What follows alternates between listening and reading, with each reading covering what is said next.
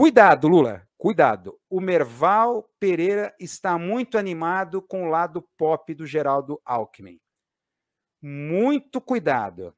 Vocês devem estar acompanhando a citação que o Geraldo Alckmin fez do mestre Miyagi, lá do Karate Kid, né? A saudação de karateca que ele fez, né? Assim, vocês estão vendo aí, assim, ainda baixou assim a cabeça, reverência aos atletas lá que ganharam prêmio, venceram.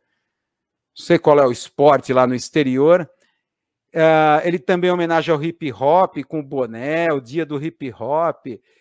E aparece o Merval Pereira numa análise muito entusiasmado da nova imagem pop do Geraldo Alckmin, mas ele estava muito entusiasmado mesmo.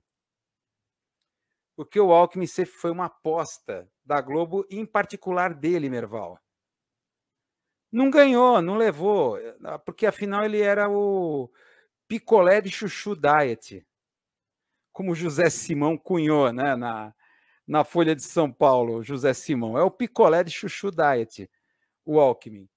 O Fed não cheira, é inexpressivo, tal, e embora com ligações muito perigosas com o Opus Dei, né? Você sabe muito bem disso, né? Ligações muito, muito perigosas.